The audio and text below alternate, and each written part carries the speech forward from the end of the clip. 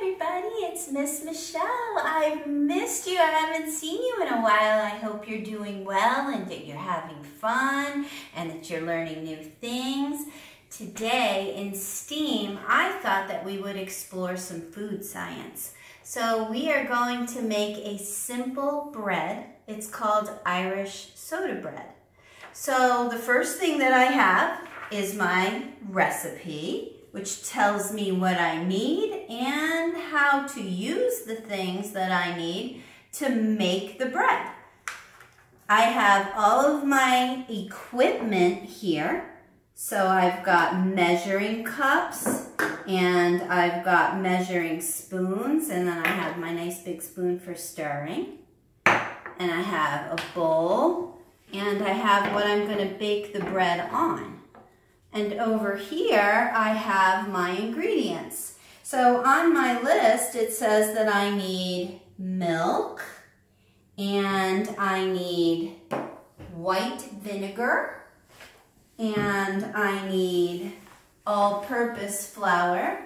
I have this flour. This is called cake flour. And in a little bit, I'll tell you why I'm using cake flour instead of all-purpose flour. And I need baking soda.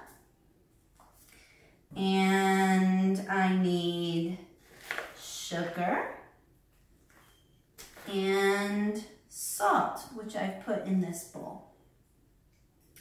Okay, the very first thing that I'm going to do is read through my recipe so that I know what I have to do, okay? It's much better if you read it first instead of just start cooking because you need to know ahead of time what's going to come next.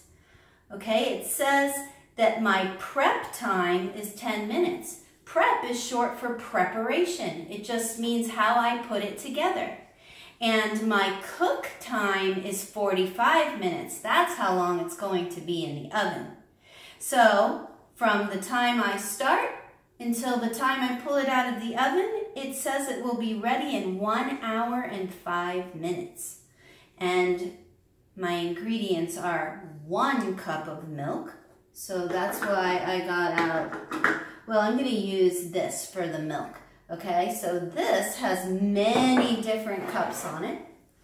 It's got one, two, three, four. It's a big measuring cup.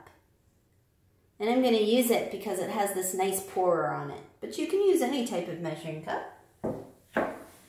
And then it says two tablespoons of the vinegar, so that's why I have my tablespoon.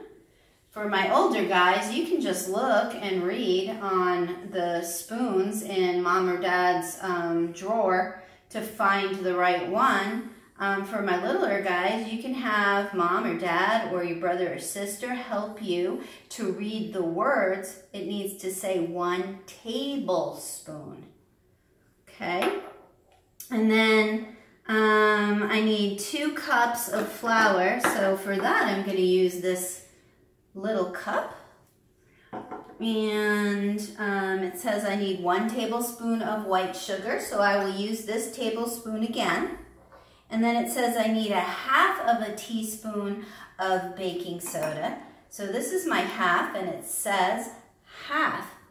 Half is one over two, that's a fraction, okay? And then I'll also use that for my salt. Directions, stir the milk and vinegar together and allow it to stand until curdled Okay, that means that the milk is going to get little chunks in it.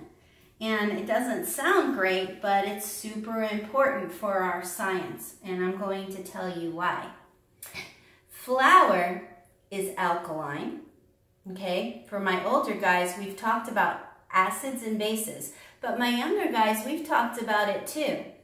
Acids and bases love to get together and react. And when they react, something changes.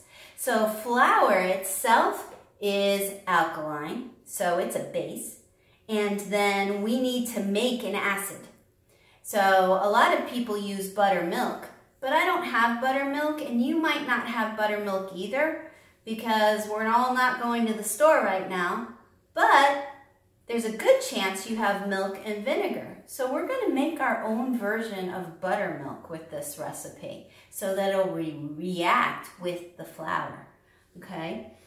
So I'm going to put one cup, I'm to put this over here so that you can see how we're measuring. I'm going to go to the line that says one cup. Okay. And then I need to add the two tablespoons of vinegar. Okay, for my younger guys, just get help with this part, okay? Just the way Miss Michelle helps you when we're doing STEAM at school.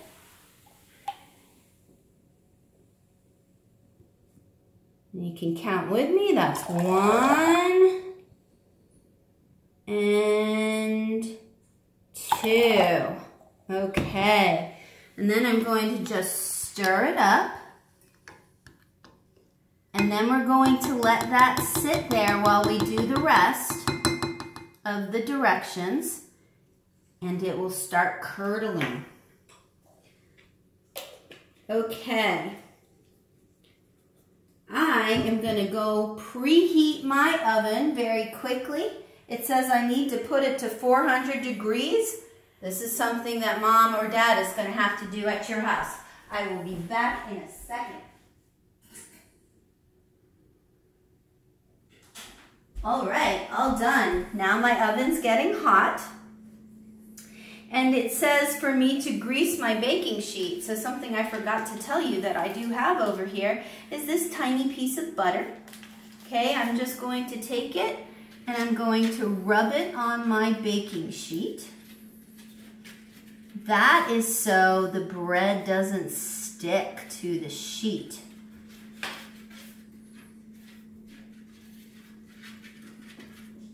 Now that's going to make your hands a little messy, so you're going to need to wash your hands before you do the next step, okay? So you don't get everything else dirty.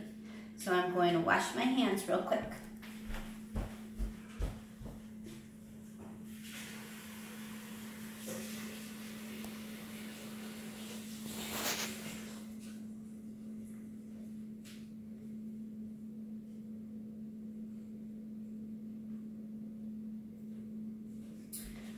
Okay. So now it says, in my bowl, mix together the flour. So here's the flour. Remember I said I was going to tell you why I'm using cake flour. In Ireland, where this recipe originated, that means where it came from, they grow soft wheat. They can't grow hard wheat. And because the wheat is so soft, if you use um, yeast with it. Yeast is what people usually put in bread to make the bread go whoop up high. But if you use yeast with soft wheat, then the, ye the yeast and the wheat go and it becomes a very heavy kind of small type of bread. And so since we're, well, we're not using yeast, but because I want it to be as close to the recipe as possible, I'm going to use this cake flour, which is soft.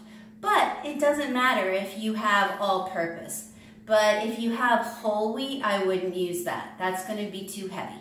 So all-purpose or pastry flour or cake flour is going to be best. Okay, so it says that I need um, two cups of flour. So I'm using my little cups. And remember, when we've measured things in STEAM class before, I've told you that you have to measure all the way up to the top, okay? And it's okay if I get flour all over the place because eventually I'm going to put the bread right here onto my table for one of the steps. Okay, see how that is right up to the top. And then I'm going to put it in my bowl. And it said I need two. So I'm going to do another one.